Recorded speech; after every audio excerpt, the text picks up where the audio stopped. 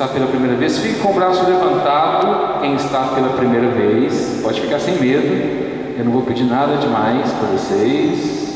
Muito bem, você que está próximo dessa pessoa, com o braço levantado, se aproxime dela, dê um abraço e diga: Bem-vindo, bem-vinda ao nosso grupo de oração. Vamos lá.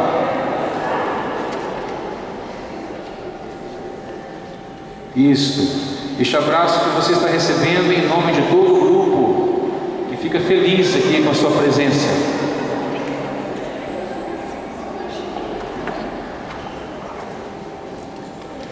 Isso, que bom. E aí, olha como é bom ser acolhido, né?